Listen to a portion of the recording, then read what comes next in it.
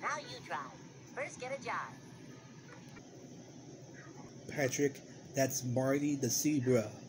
Yes. Hey Patrick, let's trick Marty thinking that the wild is that is is it's safe without any forces, but here's a here's a shocky twist. What Mar- what pa- what SpongeBob? It's full of velociraptors. Ooh, let's see that prank. A good, it's gonna be a good prank. You wanna do this? Yes. Three hours later. Hey, this is this is a nice place for the wild for a zebra. Oh hey, there's something in, in the bushes. I hope that's Alex doing an awesome prank. Alex, you could come out now now. Alex? Alex? Is that you? Alex? Alex? Uh, I don't think that's Alex.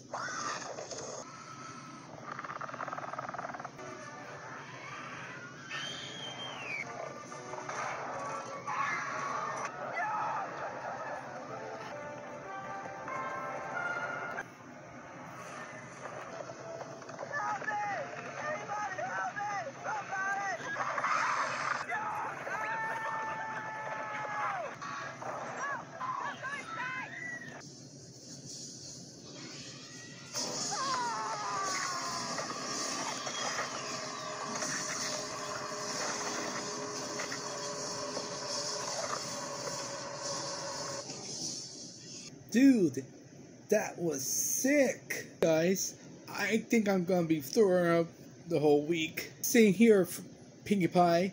Yes, so why, Patrick SpongeBob? Because it looks like fun. dude, not cool, dude. Okay, I think we went too far. Right, Patrick? Yeah, a bit too far. So what should we do now? Well, I think we think we do one thing we we can do. Scream? Yeah, scream.